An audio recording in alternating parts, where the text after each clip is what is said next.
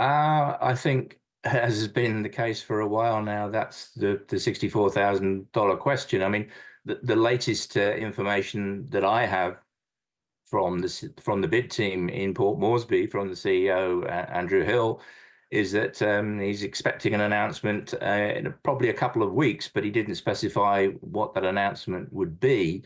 Um, what we do know is that um, Peter V'landys, uh, head of the Australian Rugby League Commission, was on uh, TV here in Australia a couple of weeks ago saying that uh, a deal had been reached with the Australian government. And interpret that any way you wish. But what he said was without that deal, the PNG bid would not be allowed to go forward or be able to go forward. But he said there would still be some way to go even after that. And then on grand final day, he came out and said that of the nine bids that there are in at the moment for NRL licenses, the only one that stacked up, the only one that had a satisfactory business case was PNG. So that's roughly where we're at. And then suddenly we get this story today about whether or not uh, James Marape should or shouldn't sign a deal with China at some point in the future. I'm not sure where that fits in, to be honest, um, because if a deal has been done between the Australian government and, and the NRL and the Commission, a deal has been done. It's as simple as that. Are, are they going to put add-ons in? Or are they going to put pressure on Papua New Guinea? I'm not entirely sure. But the conclusion, it could be weeks away. It could still be months away.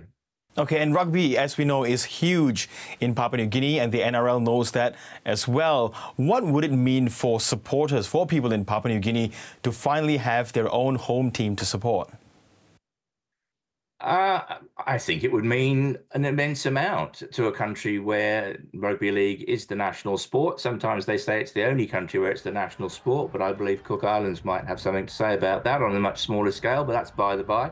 Yeah, I mean, they love their rugby league uh, in uh, in Port Moresby and indeed in the rest of Papua New Guinea, particularly up in the highlands. And you, you, go to the country and you won't have to go too far to find somebody wearing a, an NRL jersey, or for that matter, perhaps a PNG Hunters jersey, because of course they already have their own team in the second tier competition, the Queensland Cup.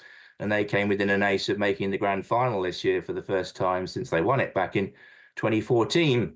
One thing that does slightly concern me, and I've heard colleagues from Papua New Guinea uh, raise this too, is that if you follow social media and the stories that have cropped up, particularly from commercial radio stations in Australia, who have said more than once that it's a done deal when clearly it's not, um, there are a lot of people in Papua New Guinea, I believe, think they've already got a team.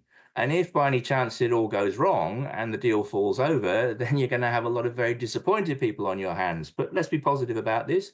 If they get a team, it would be fantastic for Papua New Guinea. And in terms of development and attracting people into the country, I don't think it could fail from that point of view. I think it would be an absolute winner for them. Uh, Richard, we've got the PNG Hunters playing in the Queensland Rugby League competition for, for quite some time now. Do we know what that NRL team in PNG might be called? And, and what are you expecting of the team's makeup? As far as the name is concerned, if they've chosen one, I don't know what it is. Uh, I imagine they would keep that under wraps until they felt the time was right. Once the bid has been accepted and they've been given a start date, that that would all emerge. Uh, what I can tell you, again, based on what I've been told by the, the CEO of the bid team in Port Moresby, is that the team that would take to the field for Papua New Guinea, if we're talking 2028 at the earliest, would not be a team of 13 Papua New Guineans. It's it's as simple as that. It, it, wouldn't happen in the first instance. But if you look at the teams that are in the NRL now, they're not all 100% Australian. They feature New Zealanders and they feature Pacific Islanders. It's a mix of players. Uh, but that's exactly what the Papua New Guinea team would be as well. However, there is a long-term aim, I think, and we're talking probably five, six, seven years down the track, if the team beds down and is successful as an entity, they might move towards a team which is entirely made up of Papua New Guinea players as the development pathways grow in the country. Because that's one of the issues they have is the development pathways are not great, uh, but they've started to put that right indeed in the last 12 months. And quite recently they had a, a tournament which was televised over there featuring academy teams, academies which had only been established within the last 12 months. So yeah, there's a lot to come out of it. The team won't be made entirely of PNG players in the first instance, but that could change over time. We've spoken about the politics of this uh, just a moment ago, but um, the Albanese government could potentially be forking out up to $600 million uh, to help Papua New Guinea realize its dream. That's, that's a lot of money, Richard.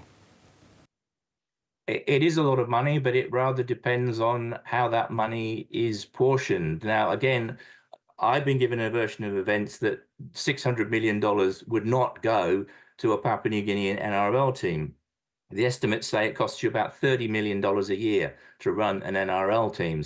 So if we're talking about 60 million a year over 10 years, the 600 million, clearly they don't need 60 million to run the team. What they may use the money for, indeed, I think this is part of the plan, is to build those development pathways, to build the academies, to influence the uh, presence of rugby league in the schools, those sorts of things, development issues. But I've also been told that some of the money, I don't know how much, is aimed to go to other parts of the Pacific. Um, it's worth noting that of the eight bids that aren't stacking up at the moment, one of them is a bid from Fiji, who would also like to have a team in the NRL. And clearly, if Papua New Guinea succeed, that could be the pathway for them, maybe to get a team somewhere down the track. But I don't think they'll make it through on this first occasion. So yeah, th- th- that six hundred million dollar figure is is regularly bandied around, but I think people need to look a little bit beneath the surface and just work out what that money is going to be used for and how it's going to be used. It's not all going to be ploughed into a rugby league team.